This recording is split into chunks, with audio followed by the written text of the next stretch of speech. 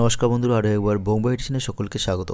বন্ধুরা, প্রাথমিকের টেট পরীক্ষা হতে চলেছে জানুয়ারি মাসের একত্রিশ তারিখে এবং ইতিমধ্যে কিন্তু অ্যাডমিট কার্ড দেওয়া হয়ে গিয়েছে এবং সেখানে তারাই পরীক্ষা দিচ্ছে যারা দু হাজার সতেরো সালের আগে ডিএলএড কমপ্লিট করেছিল এবং তারাই শুধুমাত্র ফর্ম ফিল আপ করেছিল। কিন্তু তারপরে অনেক ব্যাচ কিন্তু ডিএলএড কমপ্লিট করেছে, তারা কিন্তু পরীক্ষা বসার সুযোগ পায়নি। অর্থাৎ নতুন করে তাদের ফর্ম ফিল আপ করারও সুযোগ দেওয়া হয়নি। সেই কারণে তারা কলকাতা হাইকোর্টে দ্বারস্থ হয় এবং সেই মামলার একটি শুনানি আছে কলকাতা হাইকোর্টে। অর্থাৎ সেই মামলাটি আছে আজকে পনেরো নম্বর কোর্টে এবং রাজস্বী ভরদ্বাজের এজলাসে সেই মামলার শুনানি হবে দশটা পঁয়তাল্লিশের পর। এরকমই এখানে একটি কস্ট লিস্ট প্রকাশিত হয়েছে এবং যদিও সেটি ন নম্বর সিরিয়ালে আছে, অর্থাৎ সেই মামলার শুনানি হবে কি না সেটা সময় বলে দেবে। এই মামলা থেকে কি রায় আসে এবং সেই সম্বন্ধে আপডেট পেতে গেলে আমাদের চ্যানেলটিকে সাবস্ক্রাইব করে রাখুন। কারণ আপডেট পাওয়ার সাথে সাথেই কিন্তু আপনাদেরকে জানিয়ে দেওয়া হবে।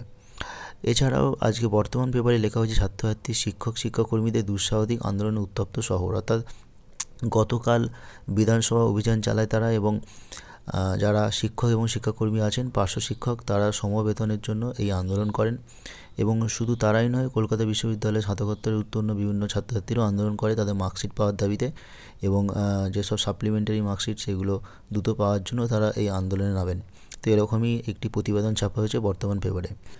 এছাড়াও প্রতিদিন পেপারে এসএসসি সম্বন্ধে একটি প্রতিবেদন লেখা হয়েছে এবং স্কুল সার্ভিস কমিশনে যারা ওয়েটিং লিস্টে ছিল, অর্থাৎ নবম থেকে দ্বাদশ শ্রেণি পর্যন্ত পরীক্ষায় যারা ওয়েটিং লিস্টে ছিল, তারা আন্দোলনে নামে এবং তারা ধর্মতলায় একটি মিছিল করে এবং সেখান থেকে কিন্তু পুলিশ তাদেরকে আটক করে এবং তাদের দাবি ছিল যে অনেক যোগ্য পরীক্ষার্থীরা বঞ্চিত হয়েছে, অযোগ্যরা চাকরি পেয়ে গিয়েছে।